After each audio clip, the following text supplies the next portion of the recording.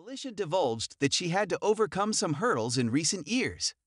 While on Tamron Hall's 52, eponymously named talk show Alicia, 41, talked about her relationship with her late mother, Terry Linda Quarles. Tamron asked the ABC anchor to speak on the moment she had with her mom while they were on their way from court. Alicia immediately became teary eyed as she began to recall the event.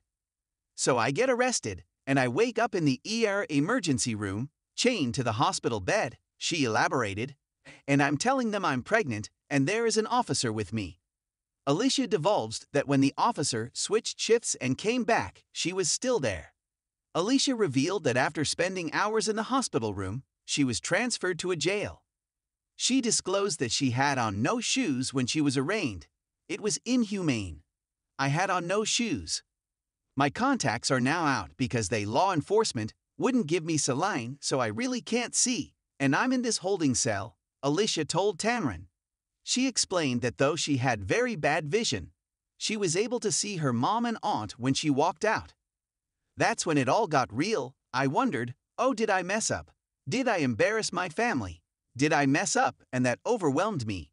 Alicia told the morning show host through tears. But my mother was right by my side.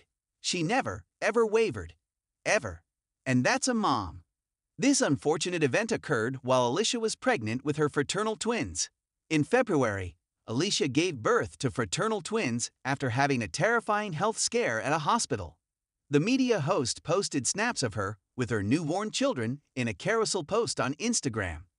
The images included in Alicia's photo dump showed her holding her pregnant belly in a purple two piece outfit and cradling her twins following their birth. She wore a pink button down shirt under a gray cardigan that said Mama in the photo where she held her kids in her arms as she looked at them lovingly. Another photo in the post featured Alicia in a pink robe, nuzzling her twin son and daughter to her bosom.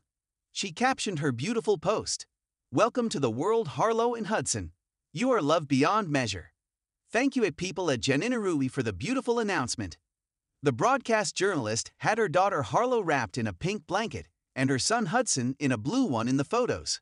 Her snaps were captured by People magazine for their exclusive feature story about her turbulent labor process. My girl was breech and wouldn't turn. I had no idea about this recovery, she told the publication.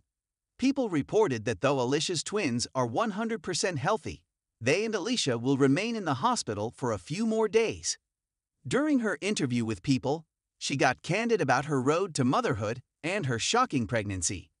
I actually froze my eggs at 39. I was preparing to go to a sperm donor and everything. Alicia told People. I still have 17 eggs on ice, never used. I knew I wanted to have kids, I just was shocked when they said twins.